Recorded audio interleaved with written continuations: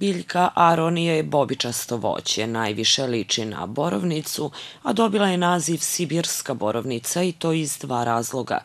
Prvi je taj što je iz Severne Amerike, gde joj je i postojbina najranije dospela u Sibir, a drugi zbog toga što je otporna na veoma niske temperature.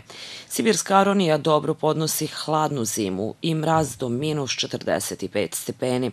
Rasti u obliku grma i ukoliko ima dovoljno prostora može dostići visinu od oko 2 metara. Do skoro slabo poznata, danas se sibirska borovnica može nabaviti i u našoj zemlji.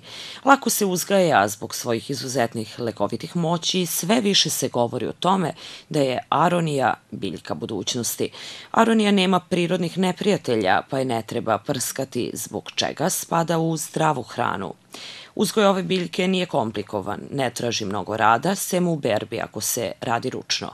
Reč je o organskoj proizvodnji bez upotrebe hemijskih sredstava, a prinosi se kreću od 8 do 12 tona zrelih plodova. E, što se tiče generalno svih tih nekih e, jagodi, častobobičastih e, voćih vrsta, ono što je interesantno kod njih jeste da postoje proizvođači koje onako pojavljuju se stiljivo sa nekim manjim površinama.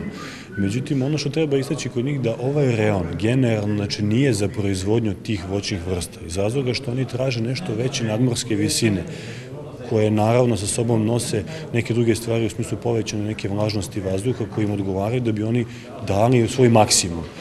Mi imamo neke pionirske primere, znači gajanje ovde, znači aronije, maline, kupine, ali to su e, prinosi e, tih kultura su daleko od nekih rentabilnih, to je nekih prinosa koji bi mogli da ostvare neku dobit.